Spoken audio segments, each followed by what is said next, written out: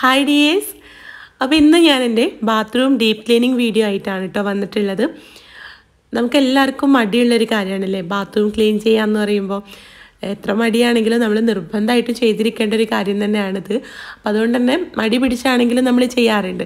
അപ്പോൾ ഇന്ന് ഞാൻ ബാത്റൂം ക്ലീൻ ചെയ്യുമ്പോൾ നമ്മൾ ശ്രദ്ധിക്കേണ്ട കുറച്ച് കാര്യങ്ങളും അത് എളുപ്പത്തിലാക്കാനുള്ള കുറച്ച് ടിപ്സൊക്കെ ഇൻക്ലൂഡ് ചെയ്തിട്ടുള്ള ഒരു വീഡിയോ ആണ് കേട്ടോ ഷെയർ ചെയ്യുന്നത്. ഒരുപാട് കെമിക്കലൊന്നും പുറത്തുനിന്ന് വാങ്ങാതെ നമ്മുടെ വീട്ടിലുള്ള ഇൻഗ്രീഡിയൻസ് വെച്ചിട്ട് നമുക്ക് ബാത്റൂം നല്ല അടിപൊളിയായിട്ട് ക്ലീൻ ചെയ്തെടുക്കാൻ പറ്റും കേട്ടോ. അപ്പോൾ നമുക്ക് സമയം കളയാതെ വീഡിയോയിലേക്ക് പോവാം. അതിന് മുമ്പായിട്ട് നമ്മുടെ ചാനൽ ആദ്യമായിട്ട് കാണുന്നവർ ഒന്ന് സബ്സ്ക്രൈബ് ചെയ്യുക. ഇതുപോലുള്ള വീഡിയോസിനായിട്ട് വീഡിയോ ഇഷ്ടപ്പെടുകയാണെങ്കിൽ ഒന്ന് ലൈക്ക് ചെയ്ത് സപ്പോർട്ട് ചെയ്യാനും മറക്കരുത് കേട്ടോ അപ്പോൾ നമുക്ക് നമ്മുടെ ക്ലീനിങ് തുടങ്ങാം. അപ്പോൾ എപ്പോഴും നമ്മൾ ബാത്റൂം ക്ലീൻ ചെയ്യുന്ന സമയത്ത് ഗ്ലൗസ് യൂസ് ചെയ്യണം കേട്ടോ നിർബന്ധമായിട്ട് നമ്മൾ ഗ്ലൗസ് യൂസ് ചെയ്തിരിക്കണം. കാരണം ഒരുപാട് നമ്മൾ എത്ര വൃത്തിയായിട്ട് കൊണ്ട് നടക്കുന്ന ബാത്റൂം ആണെങ്കിലും ഒരുപാട് രോഗാണുക്കൾ ഉണ്ടാവും. അപ്പോൾ എപ്പോഴും ഗ്ലൗസ് യൂസ് ചെയ്തിട്ട് ഗ്ലൗസ് യൂസ് ചെയ്യുമ്പോൾ ഇതുപോലുള്ള ഡിസ്പോസിബിൾ ഗ്ലൗസ് യൂസ് ചെയ്യുന്നതാണ് കേട്ടോ നല്ലത്. എന്നാൽ പിന്നെ നമ്മുടെ ആ ഒരു ക്ലീനിങ് കഴിഞ്ഞതിന് ശേഷം നമുക്കതങ്ങോട്ട് ഒഴിവാക്കാം. നമ്മൾ റീയൂസ് ചെയ്യാൻ പറ്റുന്ന ഗ്ലൗസ് ഗ്ലൗസൊക്കെയാണ് യൂസ് ചെയ്യുന്നതെങ്കിൽ അത് നമ്മുടെ ബാത്റൂമിൽ ഒരുപാട് അണുക്കളൊക്കെ ഉള്ളതുകൊണ്ട് നമ്മൾ എത്ര കഴുകിയാലും എത്ര വൃത്തിയാക്കിയാലും അത് പോകണമെന്നില്ല അപ്പോൾ അതുകൊണ്ട് എപ്പോഴും ബാത്റൂം കഴുകുന്ന സമയത്ത് ഡിസ്പോസിബിൾ ഗ്ലൗസ് തന്നെ യൂസ് ചെയ്യാൻ ശ്രദ്ധിക്കുക കേട്ടോ പിന്നെ നമ്മൾ ഏത് ഗ്ലൗസ് ആണെങ്കിലും കയ്യിലിടുന്ന സമയത്ത് പെട്ടെന്ന് അങ്ങോട്ട് കയറി കിട്ടൂല. അപ്പം ഇങ്ങനെ ഒട്ടിപ്പിടിച്ചിട്ടും കൈ നനവുണ്ടെങ്കിൽ പറയുകയും വേണ്ട. അപ്പോൾ കൈ നന്നായിട്ട് തുടച്ചതിന് ശേഷം കുറച്ച് പൗഡർ അതായത് ടാൽക്കം പൗഡർ ഉണ്ടാവില്ലേ? അപ്പോൾ അത് കൈയിന്റെ മുകളിലായിട്ട് ഇട്ട് കൊടുത്തിട്ട് നമ്മൾ ഗ്ലൗസ് ഇടുകയാണെങ്കിൽ പെട്ടെന്ന് തന്നെ നമ്മുടെ കയ്യിലേക്ക് ഗ്ലൗസ് കയറി കിട്ടും കേട്ടോ. അപ്പോൾ ഇതാ ഞാൻ ഗ്ലൗസൊക്കെ ഇട്ട് വന്നിട്ടുണ്ട്. നമ്മുടെ ക്ലീനിങ് നമുക്ക് തുടങ്ങാം അല്ലേ? അപ്പോൾ ആദ്യം ഞാൻ ബാത്റൂമിലുള്ള ബക്കറ്റും കപ്പുമാണ് കേട്ടോ കഴുകുന്നത്. അപ്പോൾ ഇത് കഴുകാൻ വേണ്ടിയിട്ട് കുറച്ച് ഉപ്പ് എടുത്തിട്ടുണ്ട്. ഉപ്പ് ഇതുപോലെ ബക്കറ്റിലേക്ക് ഇട്ട് കൊടുക്കുക. പൊടിയുപ്പാണ് കേട്ടോ പൊടിയുപ്പാണ് കൂടുതൽ നല്ലത്. കല്ലുപ്പാണെങ്കിലും അതൊന്ന് പൊടിച്ചിട്ട് യൂസ് ചെയ്യുന്നതാണ് കേട്ടോ നല്ലത്. അപ്പോൾ ഇത് നമുക്ക് ഈ ഉപ്പ് വെച്ചിട്ട് തന്നെ നല്ല പോലെ ഒന്ന് റബ്ബ് ചെയ്ത് കൊടുക്കുകയാണെങ്കിൽ ഈ ഒരു ബക്കറ്റിലുള്ള വഴുവഴുപ്പൊക്കെ പോയി നല്ല രീതിയിൽ തന്നെ ഇത് ക്ലീൻ ആയിട്ട് കിട്ടും കേട്ടോ നമ്മൾ എത്ര സോപ്പ് പൊടി ഇട്ടിട്ടാണെങ്കിലും സോപ്പ് ഇട്ടിട്ടാണെങ്കിലും ഒക്കെ കഴുകിയാലും ആ ഒരു വഴുവഴുപ്പ് പോയി കിട്ടാൻ കുറച്ച് സമയം എടുക്കും. പക്ഷെ നമ്മൾ ഈ ഒരു ഉപ്പ് വെച്ചിട്ട് കഴുകുമ്പോൾ പെട്ടെന്ന് തന്നെ നമുക്കതിന്റെ ആ ഒരു അഴുക്ക് പോയി കിട്ടും കേട്ടോ കണ്ടോ? നിങ്ങൾക്ക് കാണാൻ പറ്റുന്നുണ്ടാവും. അപ്പോൾ ബക്കറ്റിന്റെ ഉൾഭാഗമാണെങ്കിലും പുറം ഭാഗമാണെങ്കിലൊക്കെ ഈ ഒരു ഉപ്പ് വെച്ചിട്ട് നല്ല പോലെ റബ്ബ് ചെയ്തിട്ട് കഴുകിയെടുക്കാം കേട്ടോ അതിലുള്ള അഴുക്കും ആ ഒരു വഴുവഴുപ്പൊക്കെ പെട്ടെന്ന് പോയി കിട്ടും. കപ്പിലാണെങ്കിലും അങ്ങനെ തന്നെ. അപ്പോൾ നമ്മൾ ഈ ഒരു വഴുവഴുപ്പ് വരാനുള്ള പ്രധാനപ്പെട്ട ഒരു കാരണം എന്ന് പറഞ്ഞാൽ നമ്മൾ ചെയ്യുന്ന അതിൽ വെള്ളം നിറച്ച് വെക്കുന്ന ഒരു കാരണം കൊണ്ട് തന്നെയാണ് കേട്ടോ അപ്പോൾ എപ്പോഴും വെള്ളം നമ്മൾ കുളിയൊക്കെ കഴിഞ്ഞ് പോകുന്ന സമയത്ത് വെള്ളം അങ്ങോട്ട് ഒഴിച്ച് കളഞ്ഞിട്ട് ഡ്രൈ ആയിട്ട് വെക്കാൻ ശ്രദ്ധിക്കുക കേട്ടോ എപ്പോഴും ബക്കറ്റും മഗ്ഗും അപ്പോൾ അത് ശ്രദ്ധിച്ചു കഴിഞ്ഞാൽ ഒരു പരിധി വരെ നമുക്ക് ആ ഒരു വഴുവഴുപ്പ് വരുന്നത് തടയാൻ പറ്റും. ഇനി നമുക്ക് ബാത്റൂം മൊത്തത്തിൽ ക്ലീൻ ചെയ്തെടുക്കാനുള്ളൊരു പേസ്റ്റാണ് കേട്ടോ ഉണ്ടാക്കിയെടുക്കുന്നത്. അതിന് വേണ്ടിയിട്ട് ഞാനിവിടെ ആദ്യം മൂന്ന് വലിയ സ്പൂൺ സോപ്പ് പൊടി എടുത്തിട്ടുണ്ട്. പിന്നെ ഇതിലേക്ക് രണ്ട് ടേബിൾ സ്പൂൺ അതായത് അതേ സ്പൂണിൽ തന്നെ രണ്ട് വലിയ സ്പൂൺ ഉപ്പും ചേർത്ത് കൊടുക്കുകയാണ് കേട്ടോ പിന്നെ നല്ലൊരു സ്മെല്ലിന് വേണ്ടിയിട്ട് കുറച്ച് കംഫർട്ട് എടുത്തിട്ടുണ്ട്.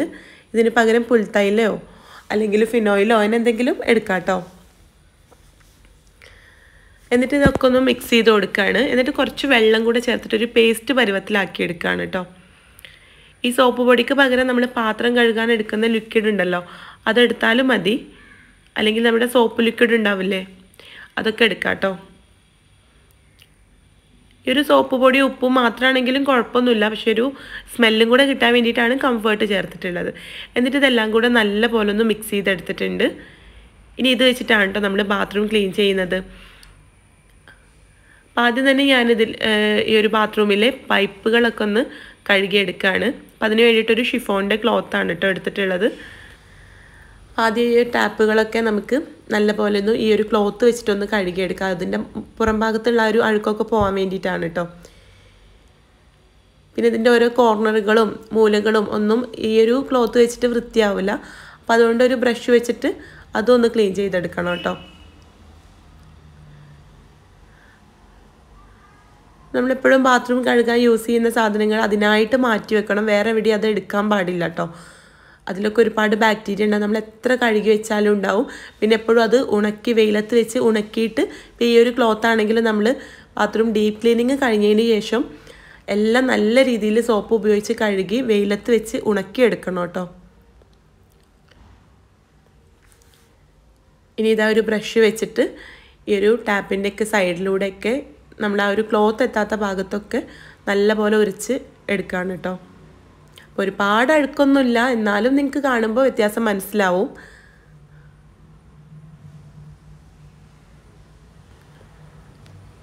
ഈ ഒരു ടാപ്പിന്റെ മുകൾ ഭാഗം നമുക്ക് എടുത്തിട്ട് ഇത് വാഷ് ചെയ്യാൻ പറ്റും കേട്ടോ അപ്പോൾ അതൊന്ന് എടുത്തിട്ട് നല്ല രീതിയിലൊന്ന് ബ്രഷ് വെച്ചിട്ട് ഉരച്ചു കൊടുക്കുകയാണ്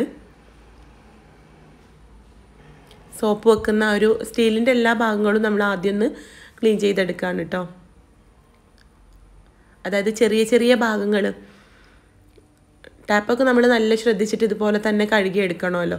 അപ്പോൾ ആദ്യം അതൊക്കെ ഒന്ന് കഴുകിയെടുക്കുകയാണ് അങ്ങനെയുള്ള ചെറിയ ചെറിയ ഭാഗങ്ങൾ ഇനി നമുക്ക് ഈ ബേസിനൊന്ന് നല്ലപോലെ കഴുകിയെടുക്കാം. എല്ലാം നമ്മൾ ഈ ഒരു പേസ്റ്റ് വെച്ചിട്ട് തന്നെയാണ് കേട്ടോ കഴുകുന്നത്. അപ്പോൾ ഹസ്ബൻഡ് ഹെന്ന പൗഡർ യൂസ് ചെയ്യാറുണ്ട്. അപ്പോൾ അതുകൊണ്ടാണ് കേട്ടോ ഇതിൽ ചെറിയ ചെറിയ കറുത്ത കളറ് കാണുന്നത്. അതെല്ലാം നമ്മൾ നല്ല രീതിയിൽ കഴുകിയെടുത്തിട്ടുണ്ട്.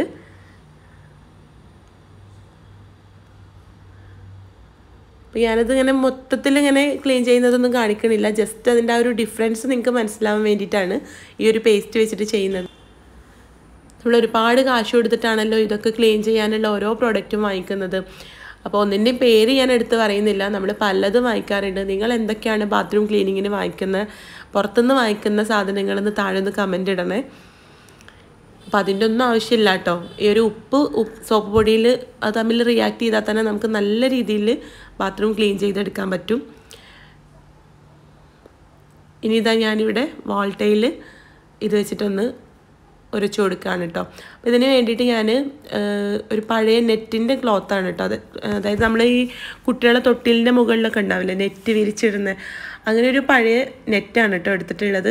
അപ്പോൾ ഇതാവുമ്പോൾ അത് കട്ട് ചെയ്യൊന്നും ചെയ്യാതെ വലുതാക്കി എടുത്തിട്ടുണ്ട്. അപ്പോൾ ഇതാവുമ്പോൾ എനിക്ക് എളുപ്പത്തിൽ ക്ലീൻ ചെയ്യാൻ ഒരു ഒന്നുകൂടെ നമുക്ക് കംഫർട്ടായിട്ട് തോന്നും. നമ്മൾ ചെയ്യുമ്പോൾ നമുക്ക് ഏത് വെച്ചിട്ടാണോ എളുപ്പം അതിനനുസരിച്ചിട്ട് നിങ്ങൾ എടുക്കുക കേട്ടോ നിങ്ങൾക്ക് ചിലപ്പോൾ ആ ഒരു വലിയ ബ്രഷ് വെച്ചിട്ടോ അങ്ങനെയൊക്കെ ചെയ്യണം എന്നുണ്ടാവും അപ്പോൾ നിങ്ങൾ ഏത് വെച്ചിട്ടാണോ ക്ലീൻ ചെയ്യുന്നത് അതുപോലെ ചെയ്യുക എനിക്കിതുപോലെ ഈ ഒരു നെറ്റ് വെച്ചിട്ട് ക്ലീൻ ചെയ്യുമ്പോൾ ഒന്നുകൂടെ എളുപ്പമായിട്ട് തോന്നിയിട്ടുണ്ട് കേട്ടോ അപ്പോൾ അതുകൊണ്ട് തന്നെ ഒരുപാട് കാശ് കൊടുത്തിട്ട് പുറത്തുനിന്ന് ബ്രഷുകളും കാര്യങ്ങളൊന്നും ഒരുപാട് വാങ്ങിച്ചിട്ടില്ല കേട്ടോ ക്ലോസറ്റ് ക്ലീൻ ചെയ്യാനുള്ള ബ്രഷ് മാത്രമേ നമ്മൾ പുറത്തുനിന്ന് വാങ്ങിച്ചിട്ടുള്ളൂ. അപ്പോൾ നമുക്ക് ഏത് ഏതൊക്കെ രീതിയിലാണ് നമുക്ക് ക്ലീൻ ചെയ്യാൻ കംഫർട്ട് കാരണം ചെയ്യുന്ന ആൾ നമ്മളല്ലേ. അപ്പോൾ അതിനനുസരിച്ചിട്ടുള്ള പ്രോഡക്റ്റ്സൊക്കെ വാങ്ങിക്കുക അല്ലെങ്കിൽ നമ്മുടെ വീട്ടിലുള്ളത് യൂസ് ചെയ്യുക അപ്പോൾ ഇനി നമ്മൾ ഈ ഒരു ടാപ്പൊക്കെ നല്ല രീതിയിലൊന്ന് തുടച്ചെടുക്കുകയാണ് കേട്ടോ ഇതൊരു പഴയ മൈക്രോ ഫൈബറിന്റെ ക്ലോത്താണ് ഏത് ക്ലോത്ത് ആയാലും മതി. കോട്ടൺ ക്ലോത്തൊക്കെ എടുത്തിട്ട് നമുക്ക് ക്ലീൻ ചെയ്തെടുക്കാം കേട്ടോ അതായത് തുടച്ചെടുക്കാം. അപ്പോൾ ടാപ്പിൽ നമ്മൾ കഴുകിയ ആ ഒരു വെള്ളം അതുപോലെ തന്നെ ഇരിക്കുകയാണെങ്കിൽ അത് അങ്ങനെ തന്നെ ഉണങ്ങിയിട്ട് അത് നമുക്ക് കാണുമ്പോൾ ഒരു വൃത്തിയിൽ തോന്നൂല. ഒരു തുടച്ചും കൂടെ എടുക്കുമ്പോഴാണ് നീറ്റായിട്ട് കിട്ടുക കേട്ടോ ഈ ഒരു ക്ലോത്ത് ഞാൻ കിച്ചണിൽ യൂസ് ചെയ്ത് പഴകിയൊരു ക്ലോത്താണ്. അതിനായിട്ട് പുതിയൊരു മൈക്രോ ഫൈബറിന്റെ ക്ലോത്ത് വാങ്ങൊന്നും വേണ്ട കേട്ടോ അപ്പോൾ ഇതാ നമ്മുടെ ബാത്റൂം ഇവിടെ നല്ല രീതിയിൽ ക്ലീൻ ചെയ്തെടുത്തിട്ടുണ്ട്. അപ്പോൾ നിങ്ങൾക്ക് എന്തെങ്കിലും ടിപ്സ് ഇതിൽ നിന്ന് കിട്ടിയെന്ന് വിചാരിക്കുകയാണ് അപ്പം ഞാൻ ചെയ്യുന്ന ഒരു രീതി നിങ്ങൾക്ക് കാണിച്ചു തന്നു എന്ന് മാത്രം കേട്ടോ നിങ്ങൾക്ക് കംഫർട്ടായിട്ടുള്ളത് നിങ്ങൾ തിരഞ്ഞെടുക്കുക. കാരണം നമ്മൾ മറ്റൊരാളുടെ കണ്ടിട്ട് അതുപോലെ തന്നെ നമ്മൾ ഫോളോ ചെയ്യാൻ നിന്നാൽ നമുക്കതൊരു എളുപ്പമായിട്ട് തോന്നിയിട്ടില്ലെങ്കിൽ പിന്നെ ഒരു ജോലി നമുക്കൊരു ഭാരമായിട്ടാണ് തോന്നുന്നത്. അപ്പോൾ ജോലി എളുപ്പമാക്കാൻ വേണ്ടിയിട്ടല്ലേ നമ്മളിപ്പോൾ ഇത് പറഞ്ഞു തരുന്നത്. അപ്പോൾ നിങ്ങളുടെ കംഫർട്ടിനനുസരിച്ചിട്ട് നിങ്ങൾ ചെയ്യുക അപ്പോൾ എന്തായാലും വീഡിയോ ഇഷ്ടമായിട്ടുണ്ടെങ്കിൽ ഒന്ന് ലൈക്ക് ചെയ്യുക മറ്റുള്ളവർക്ക് ഷെയർ ചെയ്ത് കൊടുക്കുക. കൂടുതൽ വീഡിയോസിനായിട്ട് നമ്മുടെ ചാനലൊന്ന് സബ്സ്ക്രൈബ് ചെയ്യുക. അപ്പോൾ നമുക്ക് അടുത്ത നല്ലൊരു വീഡിയോ ആയിട്ട് കാണാം. താങ്ക്